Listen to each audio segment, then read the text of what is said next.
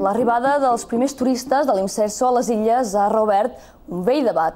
Els empresaris de les zones turístiques es queixen de les empreses que ofereixen excursions a canvi de vendre els seus productes. Diuen que ofeguen els petits comerços i que més ho fan sense llicència. Els hotelers de moment tiren pilotes fora i asseguren que aquest és un negoci que ja fa anys que funciona a Mallorca. Competència de lleial, negoci fraudulent o estafa.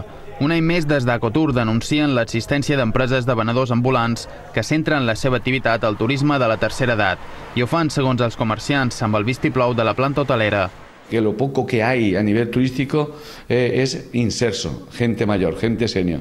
Y esto pues lo están eh, mm, trabajando con ellos y llevándoselo de forma, como he dicho anteriormente, ilegal, eh, pues nos crean una competencia leal y que estamos todos los días sin ver a un abuelo, a un turista de esto.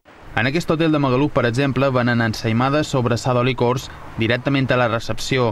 A més, permeten les excursions gratuïtes d'empreses que després intenten vendre els seus productes, ja siguin mantes o joies, a la gent gran durant tot el recorregut. Te vienen vendiendo todo el camino, pero si no le quieres comprar no te obliga.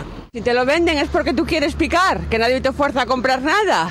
Yo, por ejemplo, he visto la, la, la iglesia de, de, cristal y la he visto sin costarme ni una joya perra por esas persones. Els hotelers de la platja de Palma, en canvi, ho tenen clar. Aquest és un negoci que s'ha permès des de les institucions.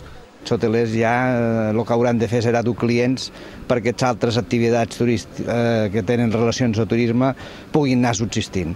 La feina dels hotels és una altra molt distinta i és mirar d'omplir els llits i les instal·lacions que tenen, no vendre mantes ni tot això. Això és un mes a més i a més és, sincerament, trobo que és una tonteria.